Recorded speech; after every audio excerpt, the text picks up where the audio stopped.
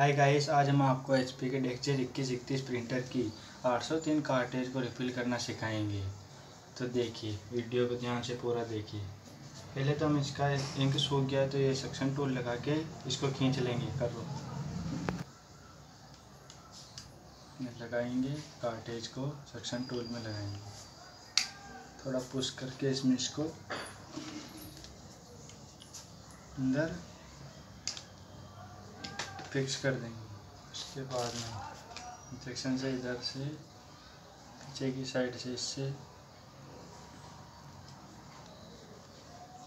Ink निकालेंगे। Computer कर भी रहा तू? इसमें इंक पूरी तरह से सूख गया इसलिए नहीं निकल रहा है। हम एक बार और ट्राई करते हैं फिर से।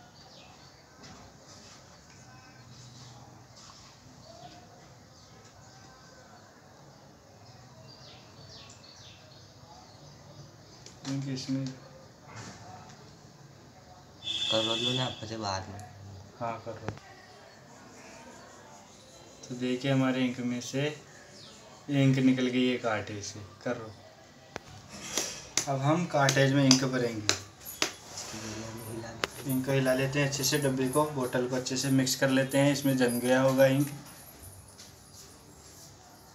अब हम इसको इंजेक्शन में दो से तीन एम एल कहाँ के छोटा इंजेक्शन है तो तीन एम एल भर लेते हैं।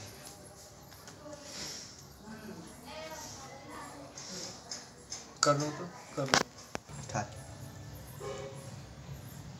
इनको भर लेते हैं।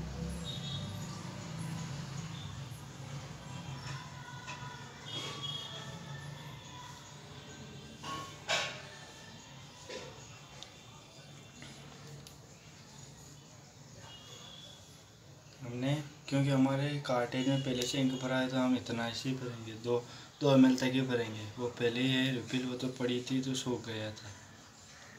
ठीक है अब इसको हम हटा देते हैं। बोतल को फिर से बंद कर देते हैं, क्योंकि इंक इसमें सूख जाएगा तो जम जाएगा। अब हम कार्टेज में इंक डालेंगे। पहले इसके स्टिकर इसको उचार लो। अब के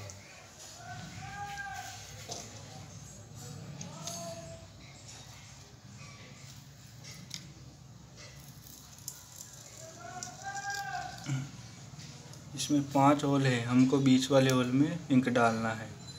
तो हम बीच वाले होल में इंजेक्शन को इस तरह से डालते हैं और धीरे धीरे से इंजेक्शन को दबाते हैं।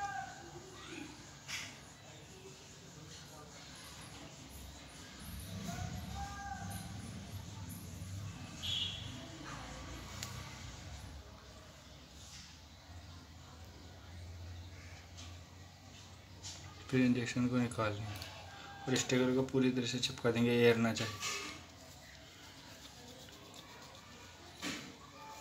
अभी हमारा कार्टेज में डाल दिया हमने। अगर कार्टेज चालू हो गया है। देख लीजिए, इस तरह किसी पेपर पे चला के चेक कर लीजिए कि चला या नहीं चला। हमारा कार्टेज चल गया है। अब हम इस कार्टेज को प्रिंटर में लगाएँगे। आपको जानकारी अच्छी लगी हो वीडियो अच्छी लगी हो तो लाइक एंड शेयर और सब्सक्राइब करें। धन्यवाद।